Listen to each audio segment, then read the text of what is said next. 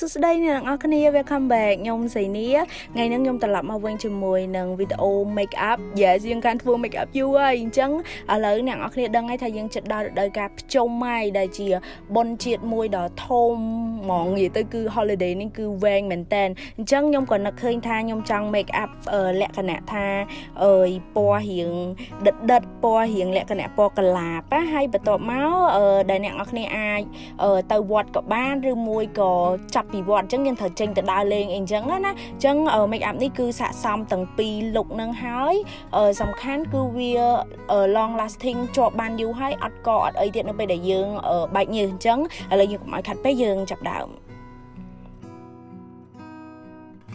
ខ្ញុំចាប់ផ្ដើមពី make up base ដែលខ្ញុំប្រើរបស់ Etude House Glow On Hydra Base ដែលជាប្រភេទ serum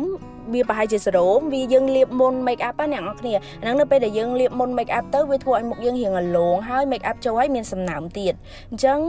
បន្ទាប់មកខ្ញុំនឹងប្រើជាមួយនឹង Etude House Sun Praise Sun Praise yes អឺ Sun Block និយាយទៅគឺលេខកាប់ពីកដៅថ្ងៃគឺយើងអាចភ្លេចបានទេព្រោះយើងទៅដើរលេងហងយើងទៅវត្តគឺយើងត្រូវថ្ងៃខ្លាំងមែនតើហ្មងអញ្ចឹងដើម្បីឲ្យ make up យើងអត់ប៉ះពាល់មុខយើងអីឬមួយក៏កដៅថ្ងៃអត់ប៉ះពាល់មុខយើងអីគឺយើងត្រូវតែលាប Sun Block គឺអត់ភ្លេចគេលេការពារកម្ដៅថ្ងៃបន្ទាប់មកគឺយើងចូលដល់ foundation គឺខ្ញុំប្រើ double lasting serum foundation នេះទៀតហើយអ្នកនរគ្នានិយាយទៅគឺខ្ញុំប្រើអានឹងនៅច្រើនវីដេអូមែនតើដោយសារតាអានឹងគឺវាជាប់នៅលើមុខយើងបានយូរហើយសាច់ម្សៅវាគឺស្ដើងមែនតើវាមើលទៅធម្មជាតិហើយយើងបិទបាំងស្នាមបានច្រើនទៀតអ្នកនរគ្នាគ្រាន់តែឃើញ ឃើញមុខខ្ញុំពីចាហៀងនឹងអ្នកនរគ្នាអាចដឹងហើយថា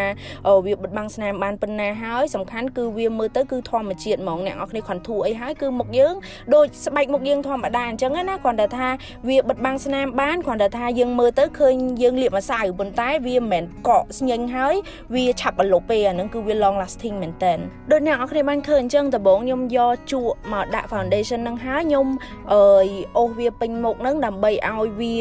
បិទបាំងស្នាមបានច្រើនបន្ទាប់មកខ្ញុំនឹងយកប៉ុង cushion យើងនឹងមកតប់ម្សៅនឹងឲ្យចូលដើម្បីយើងកុំឲ្យអាស្នាមស្នាមជក់ឆ្នោតឆ្នោតនឹងនៅលើមុខយើងណាអញ្ចឹងនៅពេលដែលយើងយកប៉ុងនឹងមកតប់ទៅគឺវាបាត់អស់ហើយម្សៅចូលមុខស្អាតអញ្ចឹងថ្ងៃហ្នឹងគឺខ្ញុំប្រើជាមួយនឹង Etude House អឺម្សៅផាត់របស់ Etude House នេះដែលសាច់ម្សៅវាវាមានលក្ខណៈភ្លឺផ្លេកភ្លឺផ្លេកណាអ្នកនរគ្នាម្សៅនេះគឺអត់ក្រាស់ទេគឺវាជួយទប់ជាតិខ្លាញ់បានល្អហើយសំខាន់នៅក្រៅគឺអត់កកហ្មងហើយអត់សពុះទេណាអញ្ចឹងខ្ញុំដំបូងគឺខ្ញុំយកប៉ុងហ្នឹងមកតប់នៅកន្លែងដែលខ្ញុំអាសាបែកញើសដូចជានៅលើថ្ងាសលើច្រមុះនិយាយទៅម្ដុំ T zone ហ្នឹងគឺខ្ញុំតប់ជាមួយនឹងម្សៅហ្នឹងដើម្បីឲ្យម្សៅហ្នឹងវាខំជាប់នឹងអា foundation ហ្នឹងទៅវាអត់ឡើងខ្លាញ់ខ្លាំងទេបន្ទាប់មកនៅសល់ប្រហែលខ្ញុំប្រើជក់មកបោះបោះនៅលើមុខខ្ញុំនៅកន្លែងថ្ពកន្លែងអីដែលមុខស្ងួតណាប៉ុន្តែយើងត្រូវការម្សៅនៅលើហ្នឹងដើម្បីកុំឲ្យបាត់ foundation យើងអញ្ចឹងនៅពេលដែលយើងលាបម្សៅអញ្ចឹងទៅមុខយើងអត់សូវឃើញក្រាស់ទេហើយយើងបានទប់ជាតិខ្លាញ់បានល្អទៀត វគ្គបន្ទាប់គឺជាវគ្គប្រែកាយអ្នកនរគ្នាគឺខ្ញុំអត់អាចភ្លេច contour បានទេនៅក្នុង step make up របស់ខ្ញុំអញ្ចឹងខ្ញុំនឹងយកម្សៅ contour នេះមក contour ចំមុះខ្ញុំដើម្បីឃើញចំមុះឲ្យមុខយើង 3D អ្នកនរគ្នានិយាយទៅគឺ contour ជួយមុខយើងបានច្រើនពីមុខយើងដូចដូចដាក់ ត្រូវមកថាសយើងទៅឲ្យចេញផុសមានរូបរាងមាន 3D ដូចគេឆ្លាក់ខ្លះយ៉ាងណាអញ្ចឹងចំអកខ្ញុំគឺសំខាន់មែនទែនគឺខ្ញុំ contour ចំអកដើម្បីឲ្យឃើញមុខខ្ញុំទូចអ្នកនរគ្នាគាត់ជាឆ្ងល់ហើយថាខាគ្រាន់តែ contour ចំអកឃើញមុខទូចដែរ yes អ្នកនរគ្នានៅពេលដែលយើង contour ចំអកត្រូវមានអារម្មណ៍ថាមុខយើងផុសឡើងហ្មងអញ្ចឹងអឺ ច្រមុះគឺខ្ញុំ take time ខ្ញុំរៀងចំណាយពេលនៅលើច្រមុះខ្ញុំបន្តិចបន្ទាប់មកបានខ្ញុំយកជក់រៀងធំហើយខ្ញុំអូសវាយថ្គាមខ្ញុំដើម្បីដូចថាអឺយើងធ្វើមិនឲ្យមុខយើងមានស្មៅហើយមុខខ្ញុំថ្ពាល់ធំអញ្ចឹងទៅខ្ញុំត្រូវការ contour ដើម្បីពេលថតទៅកុំឲ្យឃើញមុខហៀហៀហើយហើមហើមណាអញ្ចឹង contour ពិតជាសំខាន់ខ្លាំងណាស់អ្នកនរគ្នាហើយដើម្បីឲ្យចកាយើងវីអ្នកនរគ្នាខ្ញុំយកជក់រៀងទូចហើយហើយយើងមកសេរីនៅកន្លែងចកាយើងអូទៅអូមកទៅយូរយូរទៅគឺវាអឺបដិញស្មៅហើយមុខយើងរៀងវីជាងមុនហើយអ្នកនរគ្នាអាចឃើញបានថាពេល contour ហើយមុខខ្ញុំអឺរៀងមានស្មៅរៀងមាន 3D រៀងមានកលុកលាក់អីតិចចឹងណា ឥឥឡូវ base make up យើងហើយយើងដល់ចោមអញ្ចឹងចោមខ្ញុំនឹងប្រើជាមួយនឹង Etude House Drawing Eyebrow ដែរមកជាហៀងមានក្រាស់មកជាហៀងទៀតគឺខ្មៅដៃគូចោមដូចអ្នកខ្ញុំបានឃើញច្រើនដងនៅក្នុងវីដេអូខ្ញុំអញ្ចឹងដំបូងខ្ញុំនឹងសិតចោមខ្ញុំដូចរាល់ដងបន្ទាប់មកខ្ញុំនឹងយកខ្មៅដៃគូចោមហ្នឹងមកគូតាមទម្រង់ចោមខ្ញុំអញ្ចឹងណាសម្រាប់ខ្ញុំខ្ញុំចូលចិត្តចោមដែលត្រង់ហើយវារៀងបាសឡើងលើខ្ញុំអត់ចូលចិត្តចោមធ្លាក់អីទីមួយខ្ញុំមានអារម្មណ៍ថាពេលចោមធ្លាក់ទៅឃើញមុខយើងរៀង set set ណាអត់ confident ទេហើយខ្ញុំអត់សូវជួយចាំកោងព្រោះខ្ញុំខ្ញុំមានអារម្មណ៍ថាពេលចាំកោងទៅឃើញរឿងចាស់តែអានឹងស៊ីសងលើតម្រងមុខអ្នកនរគ្នាឯងហើយមួយទៀតអានេះខ្ញុំប្រាប់ដើម្បីឲ្យចំោះអ្នកនរគ្នាមួយទៅកាន់តែស្រួយទៀតណាអ្នកនរគ្នាគូគល់អញ្ចឹងមិនគូឲ្យធំទេគូវាឲ្យគៀកគ្នាអញ្ចឹងទាំងស្ដាំទាំងឆ្វេងយើងណាយើងគូជាសរសៃសរសៃឲ្យវារៀងគៀកគ្នាមែនតើអញ្ចឹងទៅឃើញចំោះយើងរៀងផុសជាងមុនហើយអញ្ចឹងអឺហ្នឹងហើយខ្ញុំចូលចិត្តតម្រងចើមអញ្ចឹងហើយអញ្ចឹងគឺជួយមុខយើងបានច្រើនគូអញ្ចឹងត្រូវឃើញមុខស្អាតហ្មង បន្ទាប់មកខ្ញុំនឹងប្រើជាមួយនឹង mascara ពណ៌រៀងថ្នោតដើម្បីមកសិនចាមខ្ញុំដោយសារតាអ្នកនរគ្នាខ្ញុំគូចាមរៀងធំអញ្ចឹងឧទាហរណ៍ថាបើចាមខ្ញុំពណ៌ខ្មៅទៀតមើលទៅវាងកាចចាអញ្ចឹងទៅធម្មតាយើងទៅវត្តទៅអីយើងចង់ឲ្យមុខយើងរៀងស្ទន់អញ្ចឹងខ្ញុំក៏ប្រើជាមួយនឹង mascara ពណ៌រៀងថ្នោតដើម្បីមកសិនចាមខ្ញុំទៅមើលទៅពណ៌ចាមយើងវាអត់ដិតពេកហើយវាម៉ត់ចូលគ្នាជាមួយនឹងអាអាពណ៌ពណ៌ដែលយើងគូមិញហ្នឹងណាព្រោះពណ៌ដែលយើងគូមិញហ្នឹងពណ៌រៀងប្រោនអញ្ចឹងខ្ញុំគ្រាន់តែសិតសិតវាហើយហើយចាមយើងគឺមានលក្ខណៈថាម៉ត់ជាងមុនហើយឃើញពណ៌រៀងបែកថ្នោតហើយសក់ខ្ញុំក៏ថ្នោតដែរអញ្ចឹងស៊ីគ្នា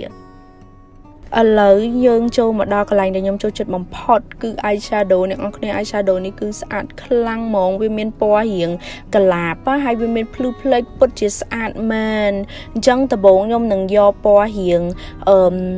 អានេះលក្ខណៈពណ៌យ៉ាងកាឈូកតែវាបែកសូកូឡាវាកពីកពីណាអឺខ្ញុំនឹងដាក់វាពេញតបកភ្នែកខ្ញុំណាយកវាយវាធ្វើសម្ោតពេញមកភ្នែកទាំងខាងលើហើយអឺទាំងខាងក្រោមទៀតបន្ទាប់មកខ្ញុំនឹងប្រើពណ៌រៀងក្លាបក្លាបបែកស្វាយនឹងខ្ញុំមកដាក់នៅខាងកតុយភ្នែកខ្ញុំណាអាតបកភ្នែកខ្ញុំ ធម្មតាអ្នកនរគ្នាយើងមិនមានអាតបកភ្នែកអាធំមួយហើយអាទូចនឹងមួយអញ្ចឹងខ្ញុំនឹងដាក់វានៅអាកន្លែងអាទូចនឹងដើម្បីឲ្យវាបដិញសមោឡើងទៅលើអញ្ចឹងពណ៌នឹងគឺជា main color របស់យើងគឺពណ៌រៀងកលាបហើយពណ៌នឹងស្អាតមែនតើអ្នកនរគ្នានិយាយទៅខ្ញុំដាក់កសែងពៀននាខ្ញុំពណ៌រៀងកលាបពោលទៅពេលយើងផាត់ភ្នែកពណ៌នឹងទៅស្អាតហ្មងបន្ទាប់មកខ្ញុំនឹងយកភ្លឺផ្លេកពណ៌រៀងកាឈូកធម្មតាភ្នែកយើងបើយើងដាក់ matte ពេកវាអត់ស្អាតទេខ្ញុំចូលចិត្ត bling bling អញ្ចឹងខ្ញុំក៏ដាក់ bling bling នឹងនៅលើភ្នែកខ្ញុំខ្ញុំតែអានេះវាអត់ចាំងខ្លាំងទេវាលក្ខណៈថាគ្រាន់ព្រិចព្រិចព្រិចព្រិចព្រិចព្រិចអញ្ចឹងណាអញ្ចឹងស្អាតមែនតែនគ្រាន់តែយកដៃញីញីទៅស្អាតហើយបន្ទាប់មកខ្ញុំនឹងយកជក់ខ្ញុំដាក់ភ្លីងភ្លីងពណ៌រៀងមាសនឹងដាក់នៅខាងក្រោមភ្នែកខ្ញុំណាគល់ភ្នែកខាងក្រោមដោយសារតែយើងដាក់នៅកន្លែងហ្នឹងទៅពេលយើងញញឹមអីទៅកន្លែងហ្នឹងវាប៉ោងឡើងអញ្ចឹងវាដូចការ៉េអញ្ចឹងខ្ជូតមែនតែន ឥឡូវ eyeshadow យើងហើយយើងចូលមកដល់ eyeliner ថ្ងៃនេះខ្ញុំគូ eyeliner ស្រាលទេអ្នកនរគ្នាដោយសារតា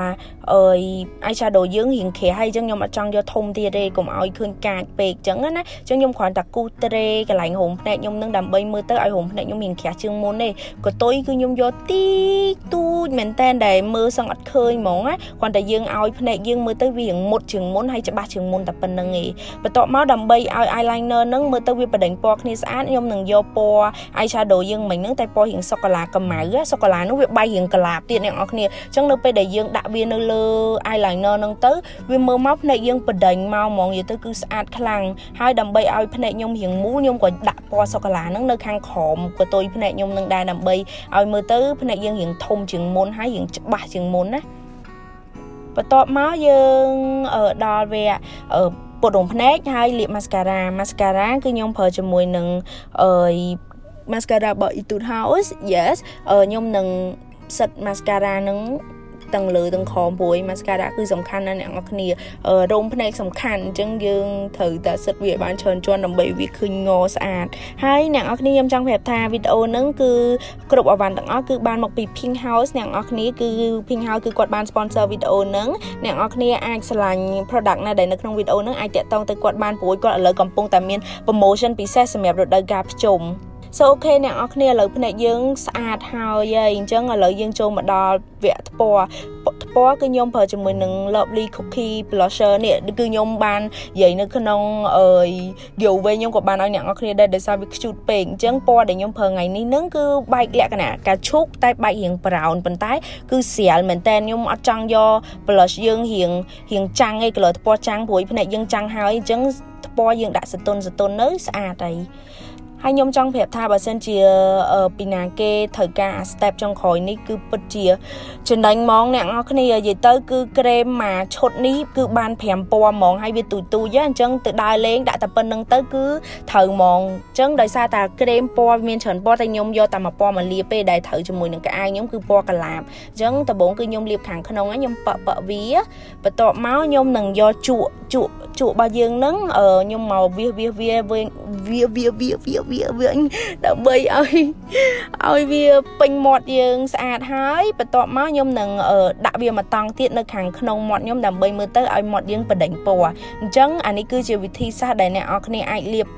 ក្រែមបដិញពណ៌បានដោយមិនបាច់ប្រើក្រែមពីរពណ៌ឥឡូវយើងចូលមកដល់ជំហានចុងក្រោយរបស់យើងចុងបង្អស់ គឺយើងត្រូវការ spray បាញ់មុខដើម្បីឲ្យ make up ដែលយើងដាក់មកហ្នឹងគឺជាប់បានយូរអញ្ចឹងខ្ញុំនឹង perfect and fix mist នេះដែលយើងអាចបាញ់មុខយើងទៅ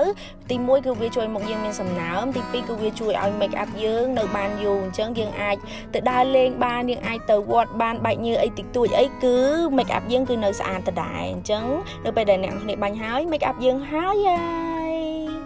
សូអូខេអ្នកនរគ្នាឥឡូវ make up យើងចប់ហើយខ្ញុំសង្ឃឹមថាអ្នកនរគ្នាចូលចិត្ត make up នឹងហើយនិយាយទៅគឺខ្ញុំចូលចិត្ត make up នឹងមែនតើដោយសារវា